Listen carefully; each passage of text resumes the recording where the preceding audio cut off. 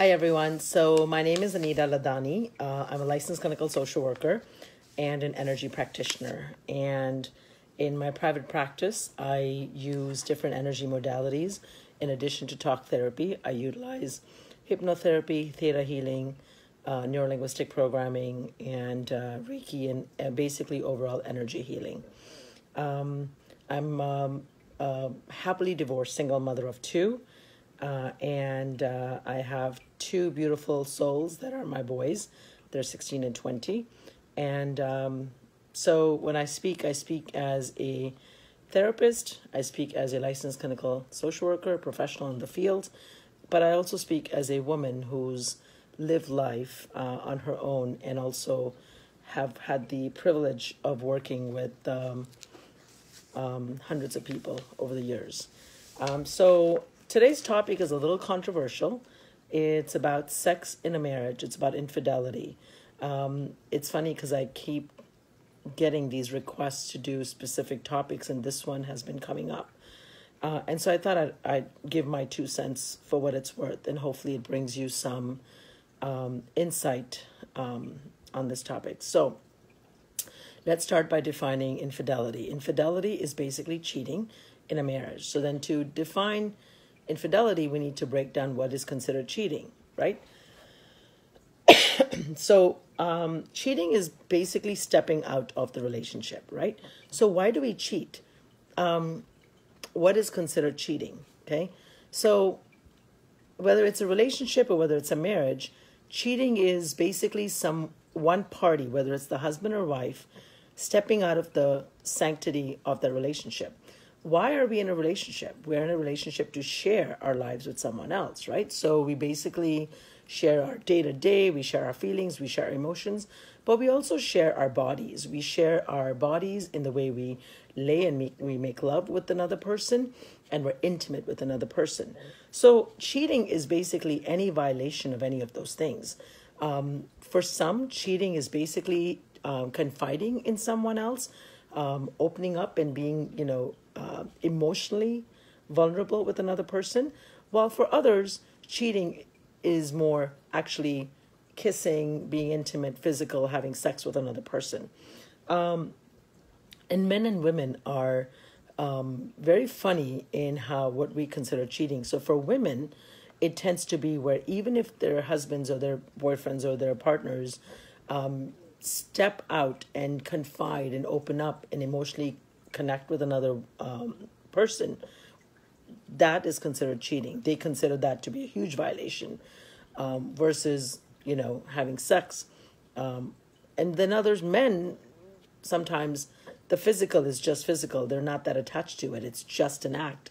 Um, they don't quite consider that. So everyone's different, but that's basically the spectrum of cheating, right? So um,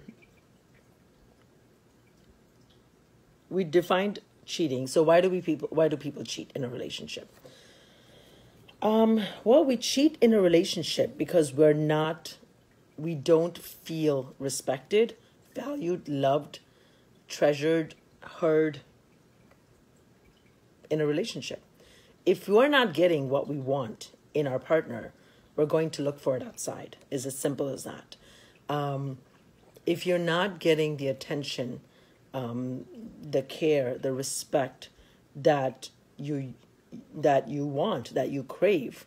And maybe perhaps you got early in the marriage or early in the relationship, but you're not getting now, then when someone else gives you that, you're going to step out and you're going to be very tempted to um, indulge and explore that more simply because we want, at the end of the day, it doesn't matter who you are.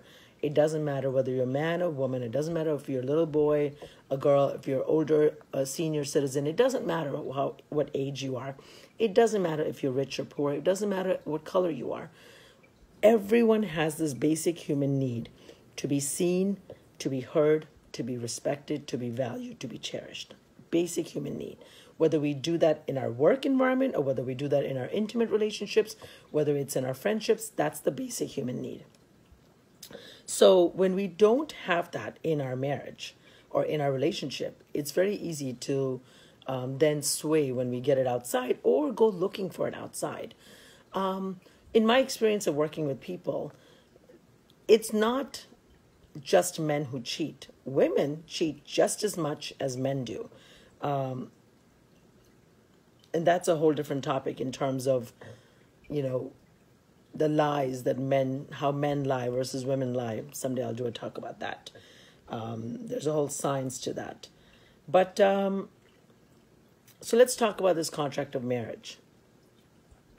Um, you know, every marriage is different, okay? And of course, marriage evolves and changes, right? When you get married, um, we always we're always growing and evolving as human beings.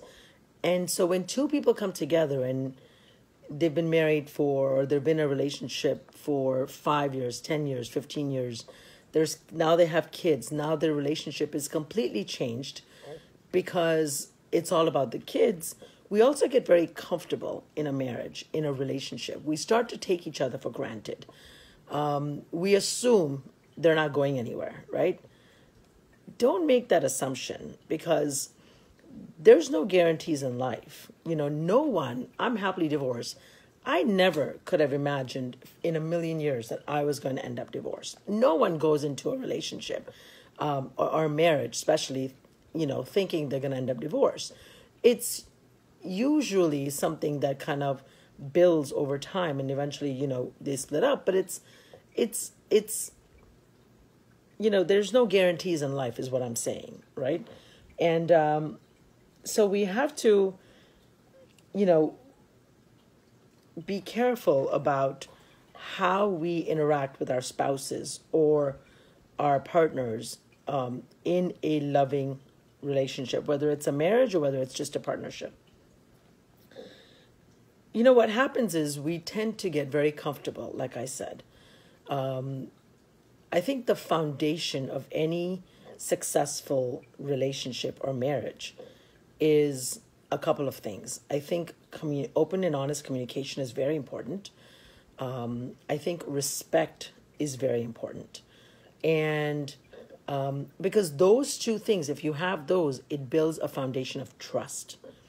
Um, so I think open and honest communication and respecting each other and showing that in the way you know we interact with each other. And of course um, you know it, it, it basically um, those two things are are going to it's the framework it's the foundation and the framework of your relationship.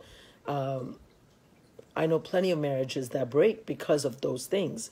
Uh, and also then you know when you when i really think about it some more I think it's important to have common values, um, a shared set of values, and hopefully a common similar priorities and common goals that you're working towards.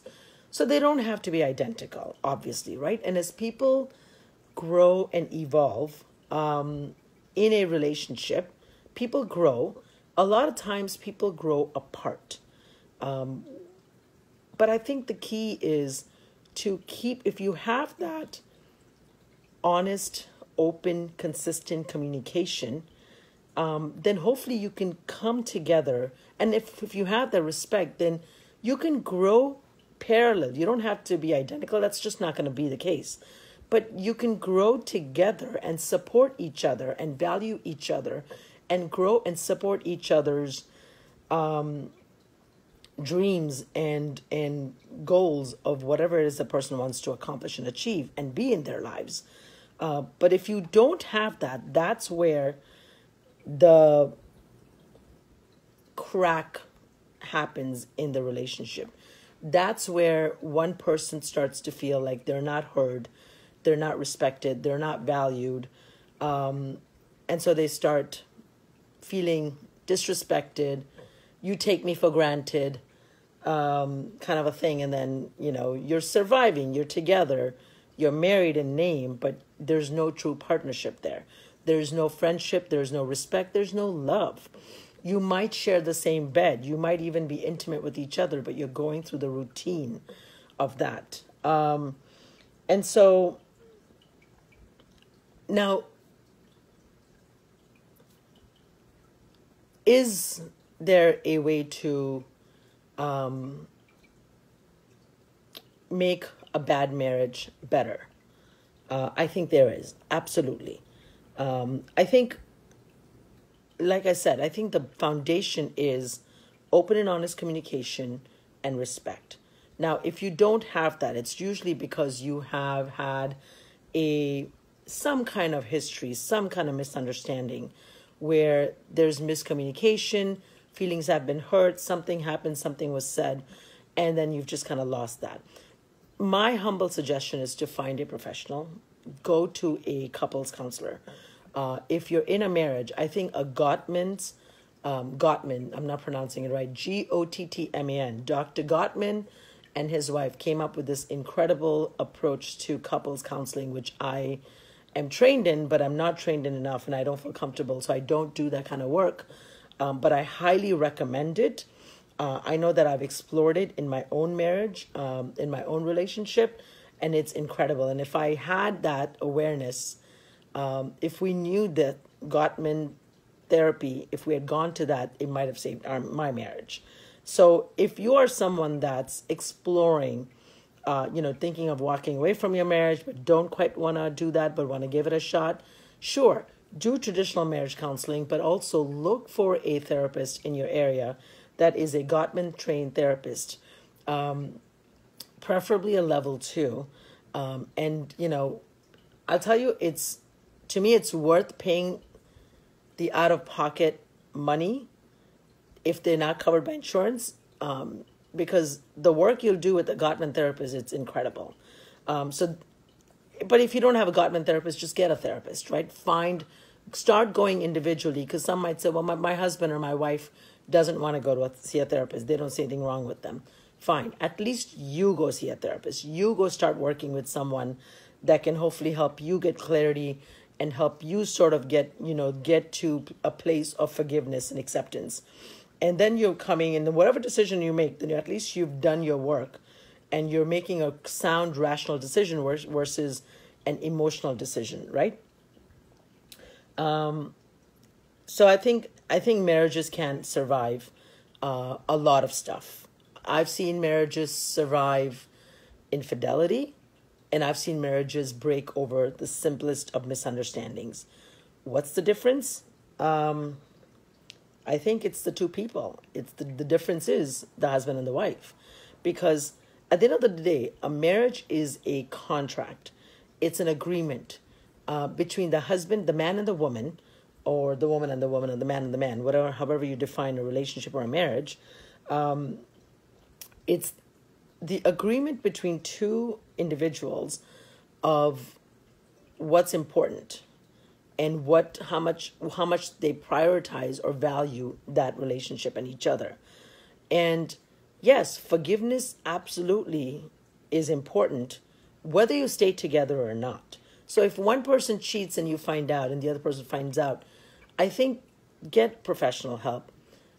You know, meditate about it, pray about it. Yes, but get professional help. Work on forgiving because you're not forgiving. Understand how forgiveness works. Forgiveness is not about forgiving someone else's actions per se, okay? Because um, guess what? You're not God. I'm not God. The only person, the only entity that has the power and the authority to forgive is God. That's it. So why do we forgive then? What's the why bother, right? You might ask if that's the case. Well, forgiveness is important because you're basically telling yourself not that that behavior was acceptable and it's okay. That's not what forgiveness is about. Forgiveness is not about um, validating what they did wrong. Forgiveness is about letting go of the past and moving on for yourself. Okay? When you don't forgive, when you sit in a state of anger, frustration, bitterness, um, what have you. You know, um, the analogy is it's like, you know, it's like you're sitting in a drum of toxic chemicals. And you're holding on to this these toxic chemicals and you're not letting them go. And meantime the toxic chemicals are eating you up from the inside out. But forgiveness is dumping and letting go and pouring the toxic chemicals in a safe disposable area. And then that way you can heal and you can move on. Um, so you're forgiving for your own sake not for not for somebody else but what that does is it opens you up to then if you want to you know work on your relationship and move on.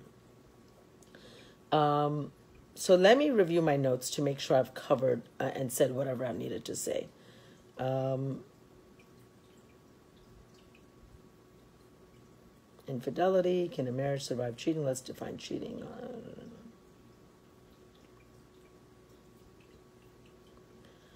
um i think i've said everything i've wanted to say. Oh i want to talk about something open marriages. Um i've worked with quite a few people. So what's an open marriage? An open marriage or open relationship is basically a relationship where uh, the partners are free to explore physically, emotionally, other people. It's not just between the two of them. And the different couples that come to mind um, define for themselves what's okay. So for some um, partners, husbands and wives, some uh, couples will agree that they don't mind if their partner sleeps with someone else but they're not they're not okay if the partner emotionally gets connected to someone else. Uh, while other couples, it's completely okay either way, uh, or one or the other. Um, I don't have any judgment per se on how other people live their marriages and live their lives. I think to each its own. That's the beauty of free will. Uh, I have my own take on karma, and you know, and the the and I've seen I've seen these relationships, and I've always been amazed at how a marriage with kids um, can be an open marriage. But I've seen it, you know, and some work, and a lot of times they don't work. Um, to be honest, they don't they don't work. But uh, you know, some work, and again, to each its own. So um, no judgment, but I know it's out there. And at the end of the day, I think it's the husband and the wife that decide the rules. It's the man and the woman. It's the two partners, whatever it is, that define the rules of that relationship and that marriage. And, you know, as long as they are okay with the rules, and ultimately, of course, you know, I believe in karma, but, you know, not my place to judge. I think then then that's between the two of them, right? What's acceptable, what not. Um, but um, there's a lot else I want to say about you know walking away from a relationship divorce but i think that's that's a whole nother topic. So anyways i hope um i hope this has been helpful. Um please feel free to comment and um as always um, love and light and god bless. Take care